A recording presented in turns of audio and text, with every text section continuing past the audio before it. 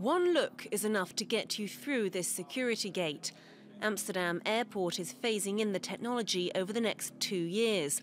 Passports will be checked once on arrival and then never taken out again. Facial biometrics is unique, and in this case, we transform documents and transactions into your face, so your face becomes your passport. Next year, MasterCard wants its customers to start shopping with selfies. So, is it really possible to pay for something with a selfie? It is, or it soon will be, It depends on the issuers offering it to their cardholders, but the technology is ready. So I open the app, confirm the amount and the merchant, so I click on that to say yes, mm-hmm. and then ask to take a picture. And very important, I need to blink my eyes to make sure that it's a live person and not a picture that was shown in front of the camera.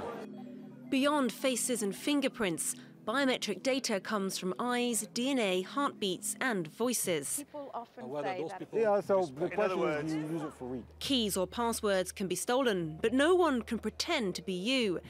This payments expert thinks it's only a matter of time. I believe that two thirds of the world will ultimately end up paying with biometrics. Um, I think the emerging markets will be a lot faster to adopt uh, because they don't have our notions of privacy in the US and Europe. Uh, but uh, ultimately, I think it'll also end up seeping by choice into devel developed markets. If I give you a lot more convenience, you'll probably use at least some of the time. Technology that was the stuff of cinema is becoming reality. But we spoke to a privacy expert who says everyone should know what product or service they're getting before they hand over their precious biometric data.